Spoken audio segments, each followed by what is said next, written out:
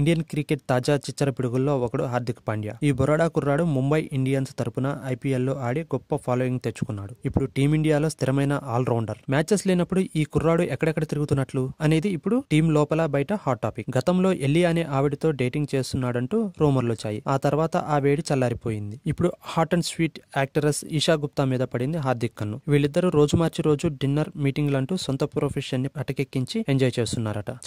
వేసుకుని తెగ తిరిగేస్తున్న ఈ జంట పక్షుల గురించి మీడియా కూడే కూసేసరికి సర్దుకున్నారని త్వరలో పెళ్లి చేసుకోబోతున్నారని వార్తలు వస్తున్నాయి వీళ్ల ప్రేమాయణం పెళ్లి దాకా చేరడం ఖాయం అనే క్లారిటీ అయితే వచ్చేసింది విరుష్క జోడీలాగే పాండ్యా ఈషా జంట కూడా హాట్ సెలబ్రిటీ కపుల్ జాబితాలో చేరిపోయినా ఆశ్చర్యం లేదు పెళ్లి విషయాన్ని ఈషా దగ్గర ప్రస్తావిస్తే మాత్రం సున్నితంగా కుట్టిపారేస్తుంది అవును తిరుగుతున్నాం అతడే నా హీరో అయితే మాత్రం పెళ్లి చేసుకోవాలని రూలేముంది ఒకవేళ పెళ్లే గనక చేసుకోవాలనిపిస్తే ఇప్పుడు మీకే ముందు చెబుతా అంటూ ఉండబద్దలు కొట్టేసింది